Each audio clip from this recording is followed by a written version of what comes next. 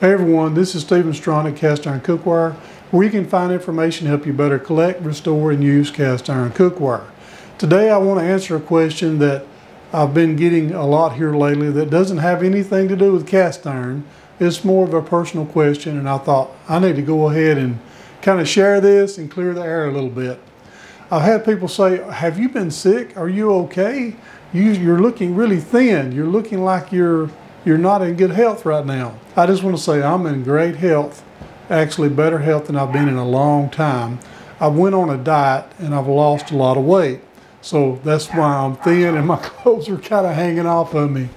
Uh, me and my wife both started about 90 days ago a diet called the carnivore diet.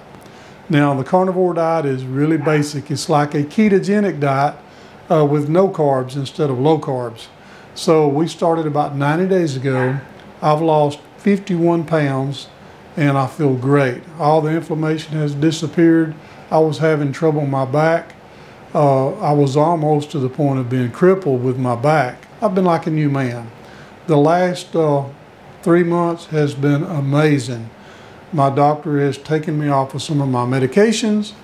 I've also had my blood pressure medication lowered and probably be going away on my next doctor visit. And uh, just feel great. Like I said, uh, I'm not sick and hopefully I'll be around a lot longer now because my health has improved.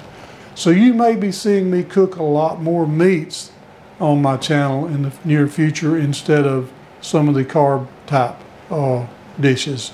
Just want to throw that out there. I'm in great shape and thank you for everybody who's been concerned.